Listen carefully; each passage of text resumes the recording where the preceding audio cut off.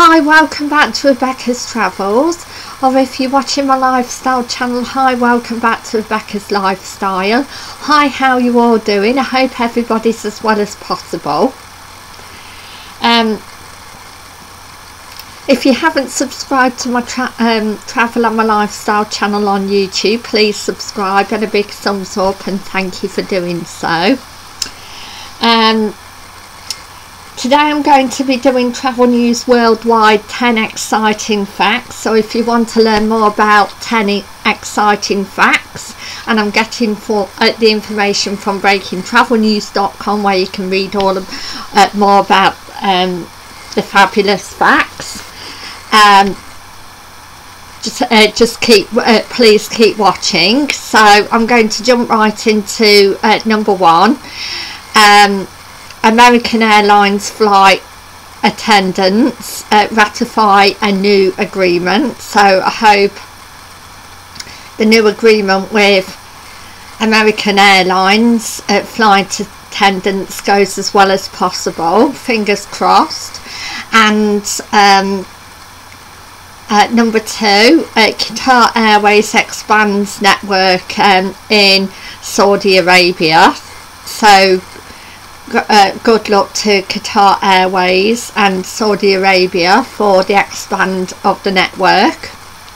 And um, number three, Virgin Atlantic to, to open ironic clubhouse in Los Angeles. Wow, I hope uh, the clubhouse, uh, Virgin Atlantic clubhouse, goes as well as possible in Los Angeles. Fingers crossed. And and uh, number four the world's uh, first museum of candy if you're uh, if you're an American or chocolate. Um, op uh, is opening soon in Dubai the Arab Emirates. So wow that's amazing. And I hope it goes as well as possible for the United Arab Emirates.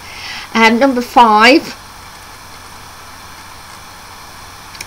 Sofitel opens its new seaside resort in the United Arab Emirates. I hope Sofitel, um, the new seaside resort, and for the Arab Emirates, it goes as well as possible. Fingers crossed, it does. And uh, number six, Hyatt's impression by uh, Secret brand, a brand announces a second edition of the impression of uh, Wakers Supper Club um, uh, sensors so I hope that goes as well as possible. And number seven um, Kimpton Hotel and Restaurants expands its New York City presence so good luck to New York City, USA and Kimpton um, hotels and restaurants. Uh, and well done to, uh, to them. And uh, number eight, uh, QT Singapore opens its doors in Singapore. A good luck to the QT Singapore um, hotel. And number nine, I HG Hotels and Re Resorts signs its first Vignette collection in Spain. So um, good luck to Spain and the, at the first Vignette collection and IHG Hotels and Resorts. And uh, number 10, last but not least, Radisson Hotel Group um, introduces a new booking service uh, called Radisson Flights. So um, I hope um, everybody's as well as possible and I'll see you tomorrow uh, for Travel News UK 5 exciting facts and um,